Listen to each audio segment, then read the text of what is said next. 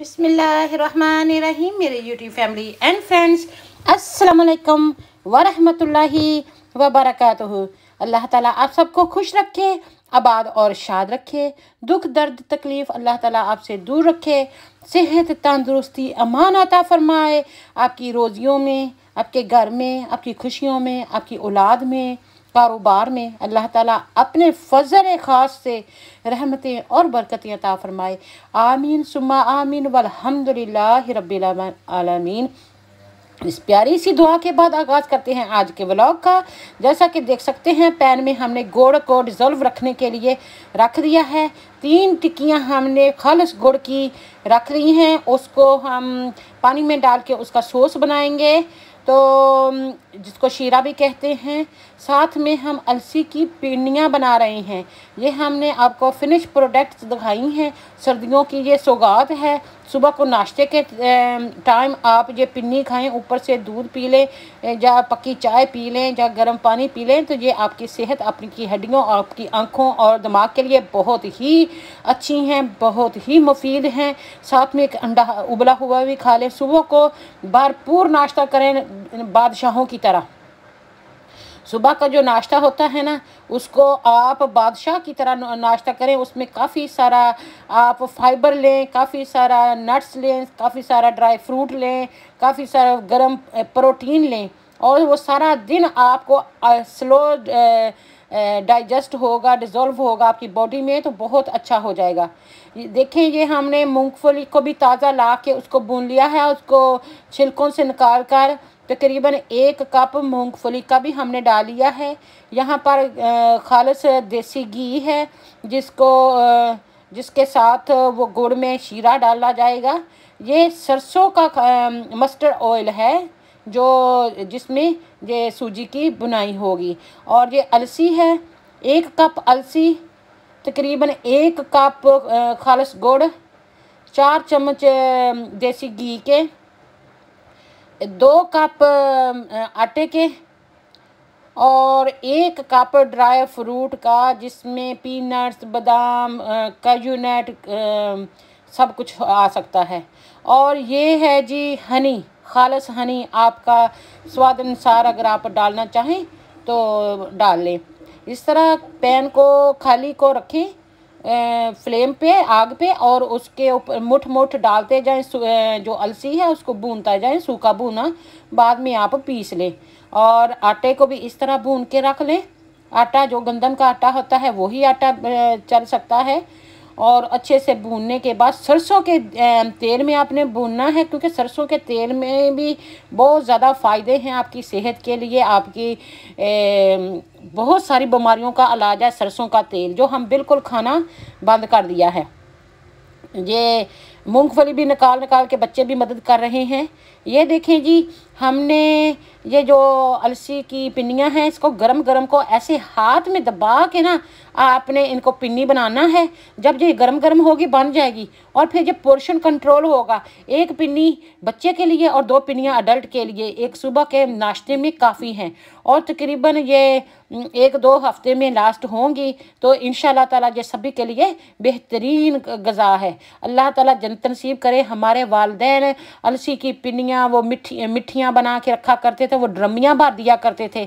वो ड्रमियाँ बीस बीस किलो की होती थी और बच्चे जब भूख लगे जितना उनकी ज़रूरत हो, वो खाते जाएँ। और इतने इनमें अफादियत होती हैं, इतने इनके फ़ायदे होते हैं, इतने ये सर्दी में आपके लिए बेहतरीन होते हैं। तो वैसे तो हम गर्मियों में तो खा ही नहीं सकते ना तो सर्दियों में ये खाएँ तो जो जिसम की कमी बेशी होती है, वो दूर हो जाती है। ये देखें, इस तरह आपने इसको दबा दबा के इसका बनाना है इतना गर्म नहीं है बिल्कुल हाथ ही जल जाए लेकिन ये काफ़ी वोम है अभी। तो वोम को जब नीम गर्म होगा ना तब ही आप एक अपनी हाथ की मुट्ठी में ए, अपने बनाना है।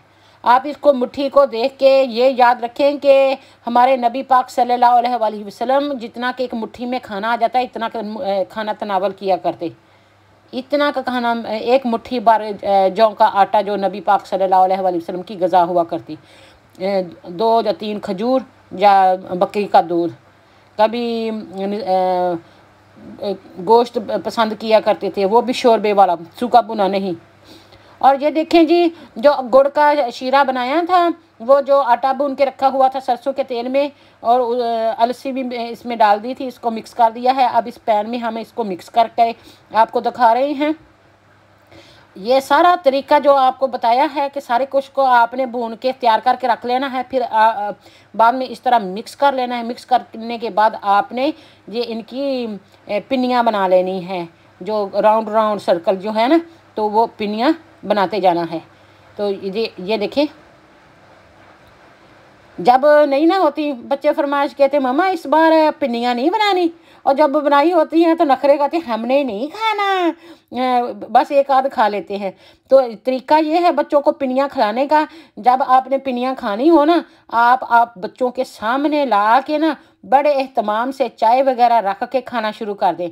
फिर उनका भी दिल करेगा, हम भी खा लेते हैं। वरना अंदर ही पड़ी रहती हैं। रोज़ सुबह को तैयार करके खुद खाना शुरू कर दें और बच्चे खुद ब खुद उसमें से लेंगे अपनी ज़रूरत के मुताबिक। तो अल्हम्दुलिल्लाह, जो अलसी होती है, इसमें मेगा थ्री होता है, जो फ़िश में होता है। और मेगा थ्री जो है, वो जिसम में आयन की जो कमी होती है जो विटामिन डी की कमी होती है, उसको दूर करता है और हड्डियों के लिए, आँखों के लिए, दिमाग के लिए बहुत ही अच्छा होता है। सर के बाल खिरते हों तो वो भी इससे रुक जाते हैं। स्किन पे जो जड़ियाँ सी पड़ गई हों या स्किन ख़राब हो रही हो तो उसके लिए भी ये बेहतरीन है। ये बहुत गर्म होती है। इसके साथ काफ़ी पानी, दो गिलास पानी के या एक कप दूध का ज़रूर पीना चाहिए। जब आप अलसी की पिनियाँ खा रहे हों, देखा कितना अभी गर्म है। तो ऊपर ऊपर से जब ठंडा हो गया था तो उसकी पिनियाँ बन गई।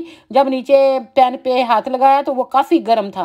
तो अब थोड़ा सा उसको फिर हिला के थोड़ा ठंडा होने देंगे, तब तक हम इसको भी तैयार कर लेते हैं। क्योंकि पैन के हिसाब से होता है और हमारा मेज़रमेंट एक एक कप का होता है, उस हिसाब से हम बना लेते हैं। तो बहुत ज़्यादा इकट्ठा बनाने की कोशिश करें तो मुझसे तो ख़राब ही हो जाता है। ये देखें इसमें सारा गुड़ सारा कुछ इसमें अच्छे तरीके से मिक्स कर दें।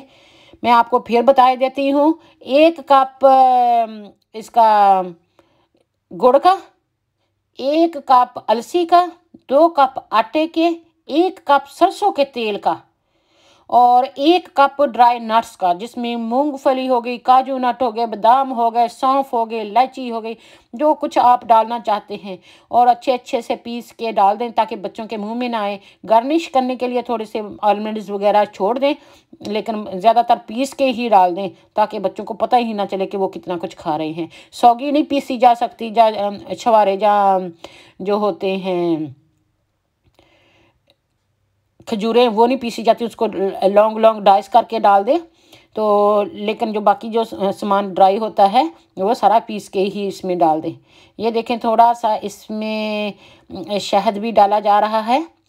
क्योंकि हम चाहते हैं कि ये बच्चों के लिए मतवाजन गज़ा बन जाए, इसमें भरपूर तोानाई हो। मैं तो इस जो प्याली है, इसमें थोड़ा सा आटा डाल के ना, इसको भी थोड़ी देर में इसी में डाल दूँगी, ताकि वो सारा जो हनी है ना, वो इसमें डाल जाए। सिर्फ़ दो चम्मच हमने खालस हनी का डाला है। खालस हनी बहुत महँगा मिलता है। एक किलो तकरीबन दो हज़ार का। अब, और आपको पता है जो चलगोज़े होते हैं, पाकिस्तान में सर्दियों में इतने चलगोज़े होया करते थे। अब उनके पाइन के दरख्त लगाने लोगों ने बंद कर दिए हैं। अब चलगोज़े लगते ही नहीं हैं। तो इतने महँगे हो गए चार पाँच हज़ार रुपये को किलो हो गया है चलगोज़ा। तो देखने को मिलता है, अगर कोई कभी ले भी लें तो आटा सा ही निकलता है, ख़राब ही निकलता है। तो क्यों वो चीज़ लें जो ज़्यादा महँगी हो गई है? दरख्त जंगलात लगाने चाहिए जिन इलाकों में जो उगते हैं, उनको ये अवेयरनेस देनी चाहिए कि ये सारे नट्स वगैरह सारी चीज़ें आप लगाते जाएँ, अपना ज़र मुबादला भी कमाएँ, अपनी हलाल रोज़ी भी कमाएँ, और मुल्क को भी तरक्की करें और ज़मीन को भी सरसबश शदाब रखें। तो ये थोड़ी सी माओ की मेहनत होती है, माएँ सारा दिन घर में रहती हैं, खाना पकाना होता है, बच्चों को लुक करता है। हमारा तो सर में खाज करने का भी टाइम नहीं मिला। तो किस चीज़ का टाइम लगा? फ़ैशन करने का नेल बनाने का कपड़े शो ऑफ़ करने का। अगर आपने अपने बच्चों को नहीं टाइम दिया तो बच्चों को अच्छा खिलाया नहीं है, अच्छी तरबियत नहीं की, अच्छे उनके साथ प्यार का मामला नहीं किया। तो आपने फिर किया क्या है? एज ए मदर माँ हाँ माँ बाप होना बहुत बड़ी बात है, लेकिन साथ ही बच्चों को अच्छा खिलाएँ, बेहतरीन खिलाएँ अच्छा पहनाएँ, लेकिन अच्छी तरबियत करें। और अच्छी तलीम और तरबियत का क्यामत के दिन भी पूछा जाएगा कि अल्लाह ताला ने आपको बच्चों की नियमत अता फरमाई थी, जिनकी तलीम और तरबियत करना तुम तुम पर था। जो कुछ आप जानते हैं, अच्छी चीज़ें हैं, वो आपने अपने बच्चों में ट्रांसफ़र करनी है। ये हमारा अखलाकी फ़र्ज़ है। उसकी पुशकश होगी। अगर बच्चे बुरे बनते हैं तो माँ के माँ भी, माँ बाप भी ट्रबल में जाएँगे। और अगर अगर बच्चे नेक हैं तो माँ बाप को भी उनका सदका जारिया बनेगा। वो माँ बाप को भी रिवॉर्ड मिलेगा। दुनिया में भी इज़्ज़त हासिल करेंगे, माँ बाप का नाम रोशन करेंगे, आखरत में भी सुरखरू होंगे, उनके माँ बाप भी सुरखरू होंगे। इसी तरीके से कहते हैं ना कि जब बच्चा हाफज कुरान होता है तो वह सात नस्लों को बख्शवा लेता है, क्योंकि उसके दिल में कुरान पाक होता है। ये नहीं कि सिर्फ़ कुरान पाक याद ही कर लेना, कुरान पाक दिल रोशन फरमाए गाइडेंस होता है ना? तो अल्लाह ताला हम सबको अपनी औलाद की अच्छी तालीम, तरबियत करने की तोफ़ी अता फ़रमाए, अपने फ़ज़ल और करम से अल्लाह ताला हमारे रोज़ियों में इतनी बरकत दे कि हम अपने बच्चों को हलाल, मेहनत की अच्छी खुराक खिला सकें और अल्लाह ताला हम सब का हामी नासर हो। अगर ये मेरा वीडियो आपको पसंद आता है तो प्लीज़ मेरे चैनल देसी बीबी यूके को सब्सक्राइब कर लें, बेल आइकॉन का बटन दबा दें, अपनी फैमिली के साथ शेयर कर लें। Thank you for watching see you soon with next interesting vlog in मेरी मोटिवेशन यही होती है लास्ट ईयर भी हमने पिनियाँ बनाई बनाई थी, इस बार भी बनाई हैं। चलो आपके साथ शेयर करें, ताकि आप भी इस तरह अपने बच्चों के लिए थोड़ा एफर्ट करें और खुश रहें, आबाद रहें। अल्लाह सबको सेहत तंदुरुस्ती दे। तो देख खरबूजा दे, खरबूजे को देख कर रंग पकड़ता है। तो इस तरह आप ना कोशिश करें कि जो आपकी अथेंटिक्स फूड्स हैं ना, उनको बिल्कुल ना भूल जाएँ। जो आपके माँ बाप आपके लिए बनाते थे, मोहब्बत से बनाते थे, वो आप भी अपने बच्चों के लिए बनाएँ, खाएँ और अल्लाह ताला का शुक्र अदा करें। मेहनत करें, हक हलाल का कमाएँ। अल्लाह ने सेहत दी है, अल्लाह ने रिजक दिया है और अल्लाह का शुक्रगुजार बंदे बन के रहें। फरमा बदार थैंक यू फॉर वॉचिंग